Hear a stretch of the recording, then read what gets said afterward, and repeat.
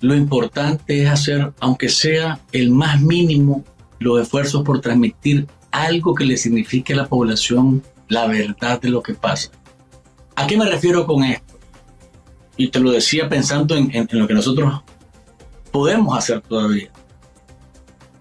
Si yo no podría seguir en, Café con Vos con el tiempo que tengo hasta ahora, porque por lo que te expliqué, por el desgaste que hay, te aseguro que mi esposa y yo haríamos por lo menos 10 minutos para decir qué fue lo que pasó en el día y dedicarme al, a, pues, a, a, producir dinero para pagar lo que tengo que pagar aquí en la renta, la comida, los seguros y demás.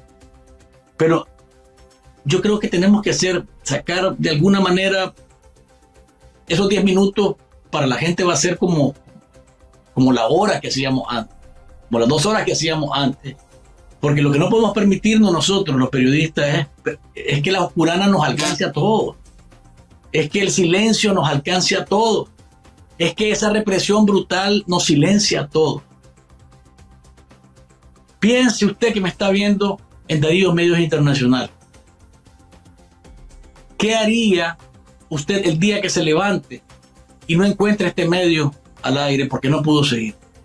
Y no pudo tampoco seguir artículo 66 y no pudo seguir tampoco Nicaragua Investiga, ni Confidencial, ni 100% Noticias, ni la prensa, ni Café con Voz, ni Expediente Público, ni ninguno de los otros medios de comunicación que con dignidad y con mucha gallardía se han mantenido al aire independientemente de estar fuera de Nicaragua y con las circunstancias que vivimos.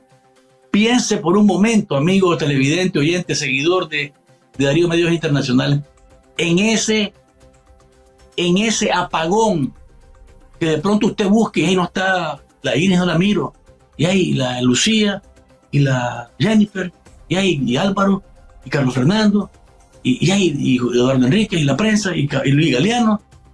Solamente piense por un momento, visualice por favor por un momento eso, y no deje que lleguemos ahí.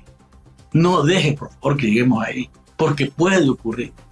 Es una responsabilidad dar el paso hacia adelante y es nuestra responsabilidad alertar que esto que está pasando es grave, que la consecuencia es eh, esa Nicaragua absoluta y totalmente oscuras, silenciada informativamente y recibiendo nada más un mensaje embustero, un mensaje falso, mentiroso de la dictadura diciéndole que todo está bien.